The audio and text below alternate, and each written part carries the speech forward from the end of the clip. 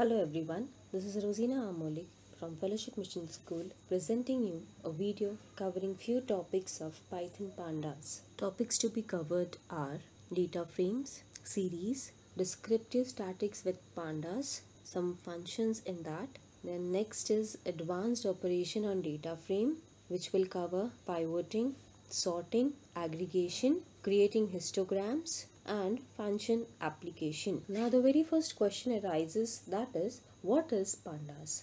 Pandas is an open source library of Python providing high performance data manipulation and analyzing tools. Now, why do we use it? Pandas are used to store huge amount of data. Pandas is a library. In day-to-day life, libraries are used to get different types of books. Similarly, in this pandas library, we can have different type of functions which are used to store data and analyze those stored data. Now to store data, we have two different types. That is, one is called as series and other is called as data frames. This both are data structures which are used to store data. Both the structures are completely different from each other. Okay, so we shall begin with the very first topic that is pandas series. Now, the very first point is it is stored in one dimensional array that is 1D array. This is also called as homogeneous series. Homogeneous series means what? Only one type of data can be stored. इसका मतलब अगर हम एक value store कर रहे हैं जो integer है so rest of the values should also be an integer if first value is string, so rest of the values should also be string. There are two properties of series, mutable and immutable. Datas are mutable whereas size is immutable. इसका मतलब अगर हमारे पास five elements है five elements की series है that is one two three four five और अगर मैंने इसमें सिक्स इंसर्ट करने की कोशिश की So there will be an error because the size limitation is 5. So it will only accept 5 elements. And instead of that, if I'm trying to change the fifth element with any other number, for example, अगर मैंने 5 को replace किया 10 से, so that is possible because data are mutable, that is we can change the data and size हम change नहीं कर सकते that is called as immutable. Practically we shall see how we will uh, use a series. Now the very first thing we have to import pandas library as we are going to use functions of pandas so we have to use pandas library. Now here the very first statement is import pandas as pd. Now pd is what? Pd is an object which I have created of pandas library. So next time whenever I want to use pandas library instead of writing pandas I will only write pd. Now the second line is I'm going to create a series. Now to create a series I have to use a function called as series. So the second statement is a equals to pd dot series. Now here a is a variable that is going to hold a series. So if I want to print the series, I'm going to write the name of the variable. Name of the variable is A. As I write A and press enter, I will see the series. Now your A is showing an empty series. Why empty series? Because I have not inserted any values in that. Now if I want to insert an element, in the next statement, I have insert one element that is 5. A equals to pd dot series in bracket 5. It means 5 is one element. Now, if I want to print the series, I have to write the variable name that is A. Now here you can see A 0 5 whereas 0 is the index position and 5 is the element. We shall see the next example. Now in the previous example, by default index position starts with 0. Now in this example, I will give index a name. Now you can see the next example, b equals to pd dot series in bracket 5 comma index equals to in bracket I have given student 1. Now it is important to know whenever you give an index name, it should always be a list B is the variable name where the series or the elements are going to be stored. So if I want to see the output of B, I'm going to write B. Now here you can see B, the name of the index is student1 and the element is 5. Now we shall see increasing the index. Now there is only one element but that element can be stored in different indexes. For example, b equals to pd dot series in bracket 5 comma index equals to 2 index I have given that is student 1 comma student 2. Now we will see increasing the indexes.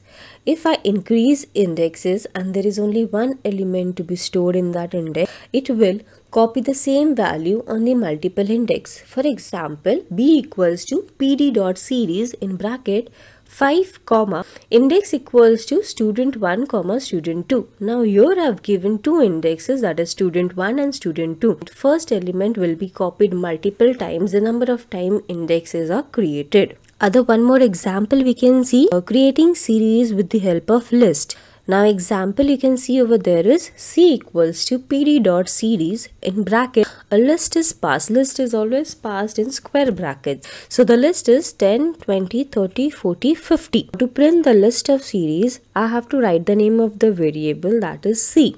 Now as i press C, the output is 10, 20, 30, 40, 50.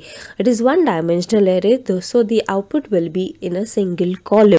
And by default, the index position will start from 0 now in the next slide, if the same example has to be given some index, I'm going to use one attribute called as index along with the list.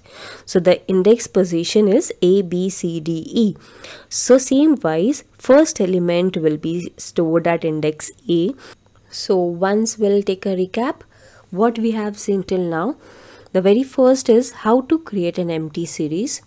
Second is series with one element and a default index.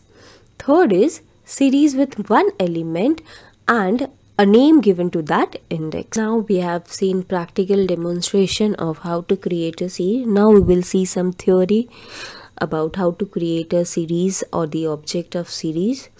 Now firstly using series method and create an empty series. We have seen in the demonstration how to create an empty series. Uh, just take a glance over here import pandas as pd i've taken a library pandas and i've created an object that is pd ob is nothing but an object. Ob equals to pd dot series. Now i've now i have insert nothing in the series so the series will be empty. Secondly in first exam we have seen this range method in grade 11 now your range is given as 5 so elements will be stored from 0 to 4. It starts with 0 as well as index also starts with 0. In other example, we have passed a list and the element of list is heterogeneous. That is integer and float is mixed values. Now 354 are integer value and 4.5 is float value. Now here last value is float. So instead of giving an error it will typecast the entire list that is, typecasting means it will take float and convert all the integer to float. That, is, that means it will give output as 3.0, 5.0, 4.0 and 4.5 respectively. So we shall move to the another topic that is data frame.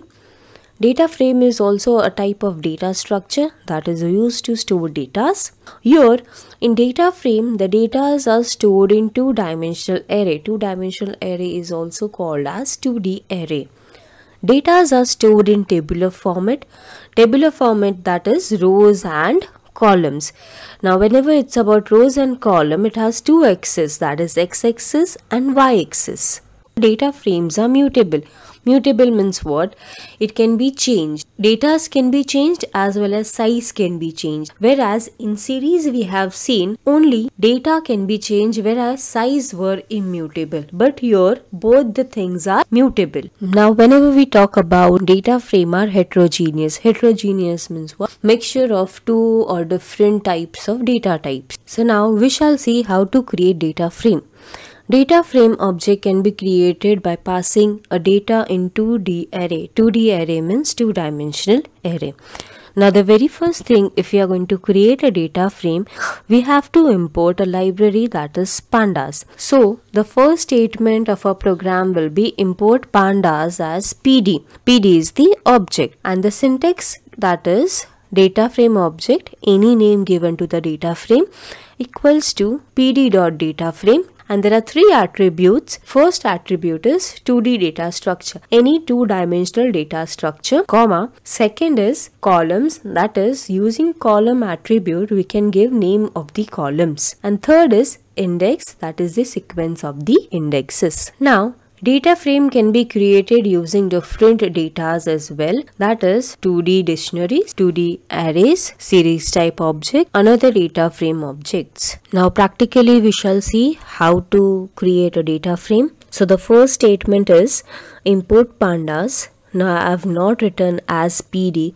So whenever I want to use pandas library, I have to write pandas. So in the below statement, you can see d equals to pandas dot data frame. As the attributes I have not specified the attributes, so my data frame is an empty data frame. So if I want to see the output, I'm going to call the variable and the variable is d. So as you can see, I have entered d and the output is empty data frame now in the second example you can see if I want to insert 2D array I have used list. D equals to pandas dot data frame in bracket. The first list is 1 2 3 and the second list is 4 5 6 so here 1 2 3 is one row and 4 5 6 is the another row. So as I press D the output will be 1 2 3 4 5 6 now here as I said there are two indexes row index and column index. Now there are two rows so the index of rows is 0 1 and there are three columns so there are three index that is 0 1 2. Now another example if I want to give index a name d1 equals to pandas or data frame in bracket two rows I have to give two indexes. So first is student 1 and the second is student 2. Now if I want to see the data of D1 I'm going to write D1 and here I can see the datas instead of 0 and 1 the name or the row index is replaced with that is student 1 and student 2 similarly in the next example if I want to change the name of the columns I have to use the attribute columns. So here d1 equals to pandas dot data frame in bracket two rows that is 2D array, comma, the next attribute is columns equals to CS, comma, IP, comma, physics. It means first column will be represented by CS, second by IP and third by physics, comma, index index is the third attribute that is student 1 and student 2 so the output will be the name of the columns will be cs ip physics. Name of the row index will be student 1 student 2 now instead of using list in the next example we shall use dictionaries. I have used a variable dict equals to keys and the value. The key is cs the value is 30 40 50 comma second key is ip and the value is 34 55 34 now i want to convert this dictionary into data frame.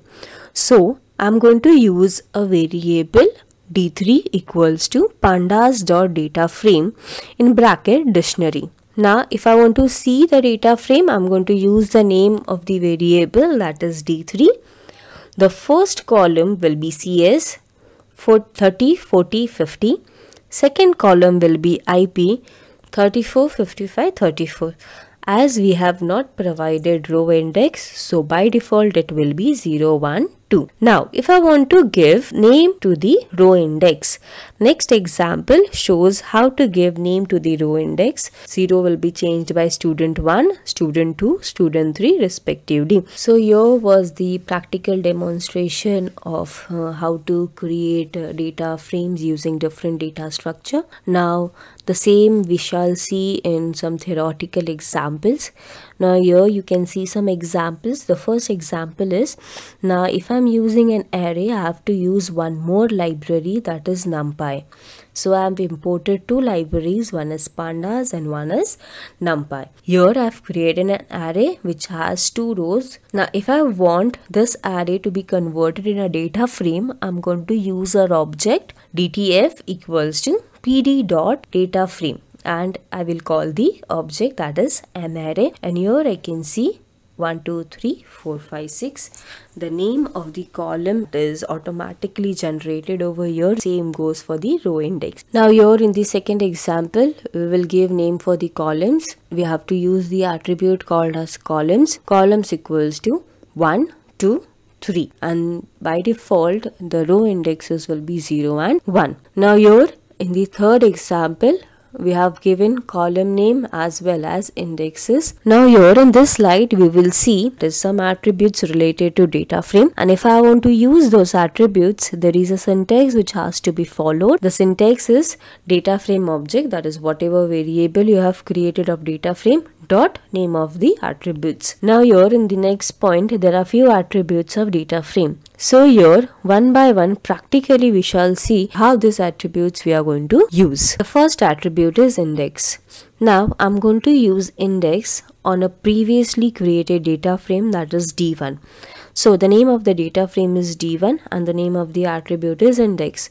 So the syntax is going to be d1 dot index. You can see in the example d1 dot index it is going to give me the index name and the index name is student 1 student 2 similarly second attribute is columns.